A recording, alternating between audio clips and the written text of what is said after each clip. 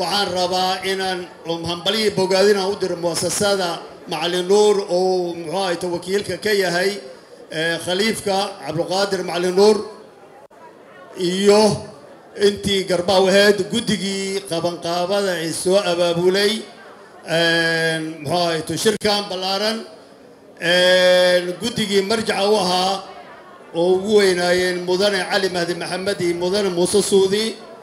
guddigii dhaqanka ee u ahaa muxuu ahayto ubadhaxaadka ee la tashiga iyo ula noqoshada oo muxuu ahayto ay ugu yacni duubabkeenna imaamka iyo ugaasyada ay ugu cadcadaayeen gaar ahaan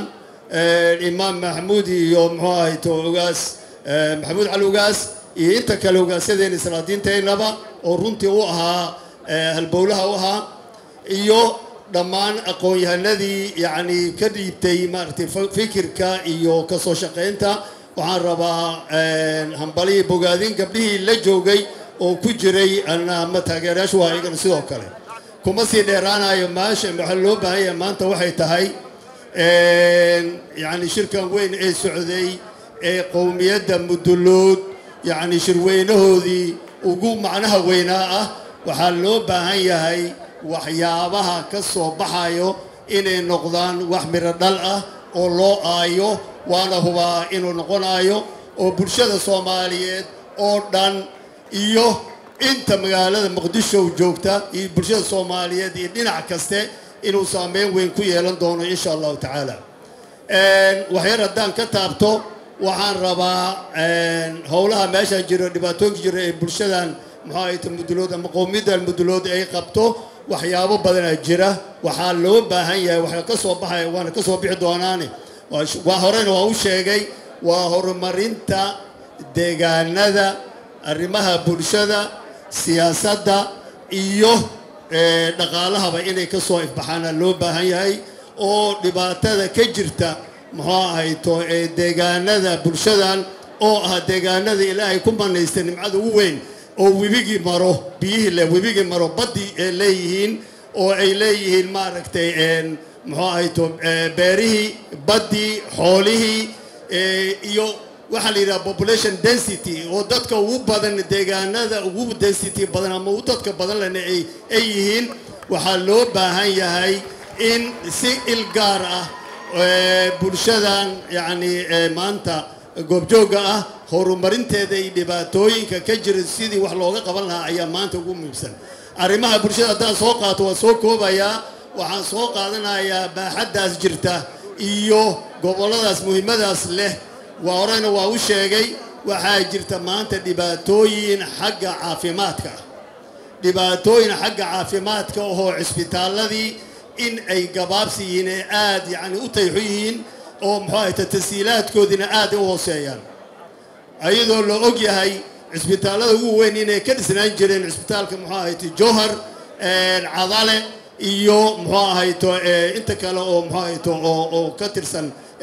gobolka shabeellaha dhexe iyo muxuu ahayto dhinaca kale xataa ee ka tirsan galmudug. Waxaa loo baahan yahay waxaa loo baahan yahay arrintaas in yacni loo kaco sidii loo tayeyn lahaa waa midda ugu muhiimsan. Waxaan rabaa idin inaad ii sheego maalin dhaweytana waa sheegay in balcad oo labaatan kilomitir u jirta in gabar ku foolanayso oo ugub ah in yacni dhiigbixi ku dhacay cunugii wadadab ugu jiray markii la soo gelinayey la soo qaado lala soo orday marka la keenayey meesha la yidhaahdo soosna inay riddiisa ku dhimatay. Taasna waa tasiilaadka arrimaha bulshada dhanka caafimaadka siday u liidato. Waxaa looga baahan yahay waxaan soo xusayaa oon soo hal qaadanayaa hadda maalin weytana waa iri waa warkii uu meeshan ku sheegay madaxweyne waare. Waa muhiim waxaa waaye inaan dib u fiirinno arrimaha baaxadda la leeyahay dhaqaalaha la leeyahay tayada la leeyahay iyo maanta yacni tasiilaadkayna caafimaadka iyo arrimaha bulshada ka mid tahay waxbarashada iyo waxyaabihii kala midka ah siday u hooseeyaan. Taas waxaa loo baahan yahay in loo kaco. Kow mas'uuliyiinta siyaasadda oo kula xisaabtamaysa dowladda labo ganacsatada. Ganacsatada yacni waaweyn ee ilaahay ku manaysto ka tirsan. Waxaa kaloo ka mid ah muxuu ahayto duubabkeenna oo sharafta leh oo doorkooda ka qaadanaya. Waxaa ka mid ah bulshadoo dhan inay u kacdo sidii loo taya iyo qurba joogta oo runtii door weyn ka qaadatay haddana door ka qaadatay shirkan ayaa loo baahan yahay. Sidaasoo kale waxaa yacni jira xaaluf inuu jiro oo xaaluf dadeed jiro oo dadka ay ka soo qaxayaan maxaa yeelay tashiilaadkii haddii la waayo waxaa dhacaysa dadka inay u soo dhawaadaan meela tashiilaad ka heli karayaan waxaa dhacda waxbarashadii in hoosu dhac uu jiro intaas soo sheegay deegaanada muxuu ahayto bulshadan ama qowmiyaddan ay ku abtirsato. Waxaa loo baahan yahay in tayeenta iyo tireynta yacni maxaa la yidhaahdaa waxbarashada in goobaha lagu furi si loogu xasiliyo oo loo sameeyo waxaa la dhihi jiray dad celin loo sameeyo. Aysan noqonin goobta keliya loo soo haajiraya magaalada muqdisho ay noqon. Waa ku dheeraaday. Waxaa loo baahan yahay jaamacado in laga furo goobahaas. Laakiin waxaasoo dhan ayadana waxaa yacni saldhig u ah. Jaamacadaha waa meesha keliya oo noqonayso muxuu ahayto kuna celin karayso oo ardaygii hadduu ka soo tago reerkan aysan soo raacayn tan kale waxaasoo dhan laakiin waxaa saldhig u ah iyo tii dhaqaale oo ugu horeeyo jidkan dheer ee isku xiraayo deegaanadan ilaahay ku manaystay micno oo yacni muxuu ahayta leh muxuu ahayto xigmadda badan ka buuxdo dhaqaalaha iyo jidka isku xiraaya in loo kaco oo wax ka soo baxan oo shirkan ka soo baxo jidkaas dhowr jeeraa la qaaday oo weliba dhagax la dhigay sida yani u horgeli lahaa ayadoo la isku xirmaayo walaalaheena uu isku xiro jidkan iyo soomaalida isku xiro oo dhan ma rabo inaan ku sii dheeraado waa la isu waayo waa la garab taagaya. Waxaan rabaa arrinta inaan ku tira arrinta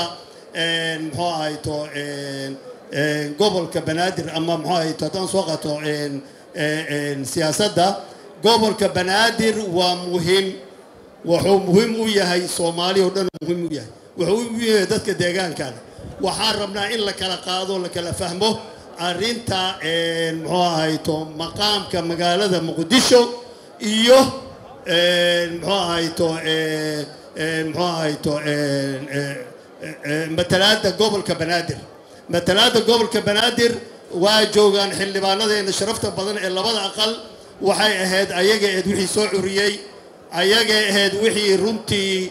goobta keenay waxaan rabaa shalayna waa sheegay dorad waa sheegay inaan maanta aan ku madha sheegto in uu ilaahay iga dhigay ninkii oo ilaahay nagu ilaamiyey in aqalka sare ninkii soo xusay magaalada muxuu ahayto muxuu ahayto gobolka banaadir iyo maqaamka magaalada muqdisho ee ka sheegay meesha la yidhaahdo aqalka sare. Taasna ay noqotay aqalka hoose si sharaf leh oo sharaf leh inay u gudbiyeen oo weliba maanta oo weliba taagan yahay saddexdii toban saddexdii tobankii xubnood inay taagan tahay ay soo dhammaatay laakiin loo baahan yahay madaxtooyada agtaallahi saxiixaas uu soo dhammaado waana soo dhammaan doonaa si aan rajada ku qabo maxaa yeelay baahida yacni ee soomaaliya oo dhan ay soo gudbisay iyo cizada ay u hayso bulshadan iyo maqaamka yacni karaamada ay u hayso inay gudbayso waa waa muxuu ahayto waa